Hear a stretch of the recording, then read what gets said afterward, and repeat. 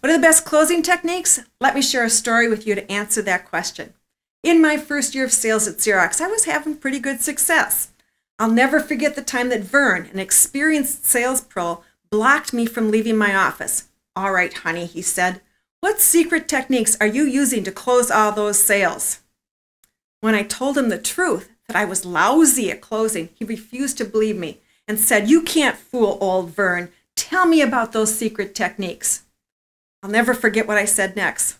Seriously, Vern, I am so bad at it that my prospects are closing me. They're having to say, What do we need to do to get that new copier in our office? He never believed me, but it was true.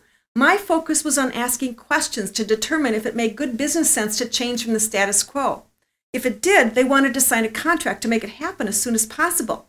What I'm trying to tell you is that closing is a natural outcome, not an end in itself. You can master all the closing techniques in the world and still fail if you haven't focused on ensuring your prospect understands the business value of making a change.